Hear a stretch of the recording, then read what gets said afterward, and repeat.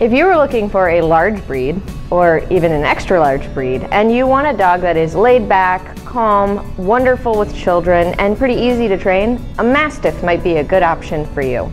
We carry three different types of Mastiff, Bull Mastiff, English Mastiff, and French Mastiffs, and they're all a little bit different. The English Mastiff is the largest, and they can range anywhere between 100 to 160 pounds even but they are the biggest babies. They love to be sitting next to you, sitting on your feet, sitting with you.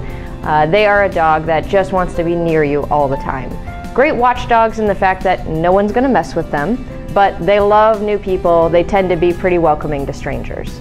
Bull Mastiffs are actually on the smaller side of the Mastiff family. They average between 80 to 120 pounds. Yes, I know, that doesn't sound small, but they are actually a great dog with families. They're wonderful with kids. They're great with even the smallest of pets, very gentle, great watchdogs, and also a dog that can be active and agile, go for long walks, and be outdoors as well.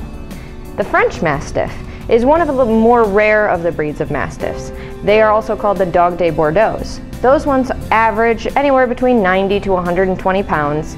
They tend to be uh, more on the, the protective side of the Mastiffs. They are great with kids, great with their families, but they are very intuitive to things going on around them. They're very smart uh, for a Mastiff. They are generally pretty easy to train, and they get along well with other pets and children as well.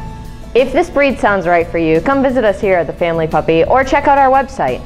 We have this and many other family-friendly breeds that may be great for you.